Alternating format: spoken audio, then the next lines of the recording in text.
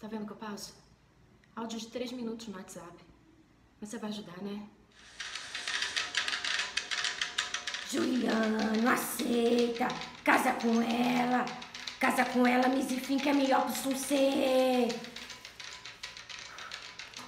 Ó, agora você segura o filho de Santo Antônio, agarra nele, sobe a escadaria da penha de joelho, com o sapo na mão, chega lá em cima, beija o sapo. Tá feito. Amiga, Juliana é gay.